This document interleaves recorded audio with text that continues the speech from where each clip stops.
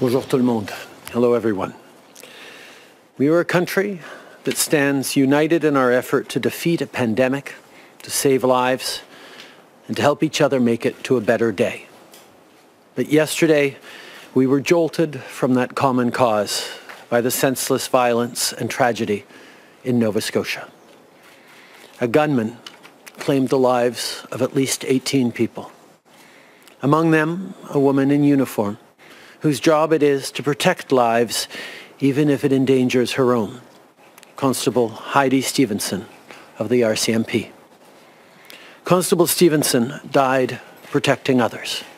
She was answering the call of duty, something she had done every day when she went to work for 23 years. This happened in small towns. Portapique, Truro, Milford, and Enfield are places where people have deep roots, places where people know their neighbors and look out for one another. There, everyone knows a Mountie because they're everything from police officers to social workers to teen counselors.